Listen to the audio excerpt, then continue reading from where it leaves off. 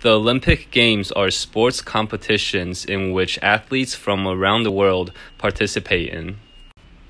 The Olympic Games started around 2,800 years ago in ancient Greece. They were held in honor of Zeus, one of the gods of ancient Greece. Today, this ancient tradition is still being practiced in the modern world. The Olympic Games are held once every four years. However, the current Olympics in Tokyo, Japan was pushed back one year due to the COVID 19 pandemic. Currently, Taiwan is competing in the Olympic Games. Under the name Chinese Taipei, Taiwan has won a total of 12 medals. There are three types of medals for first, second, and third place.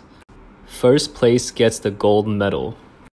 Second place gets the silver medal third place gets the bronze medal. In the sport of badminton, Taiwan has won one first place gold medal and one second place silver medal.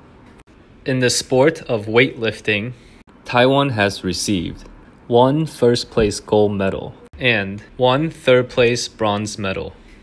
In the sport of archery, Taiwan has acquired one second place silver medal.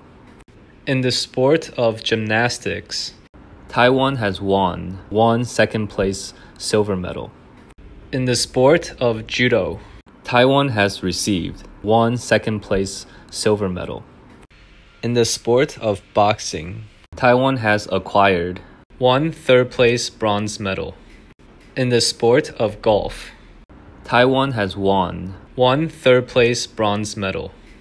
In the sport of karate, Taiwan has received one third place bronze medal.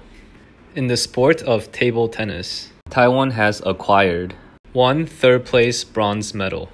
In the sport of taekwondo, Taiwan has won one third place bronze medal. Taiwan currently has two gold medals, four silver medals, and six bronze medals. Let's add them up and see how many there are.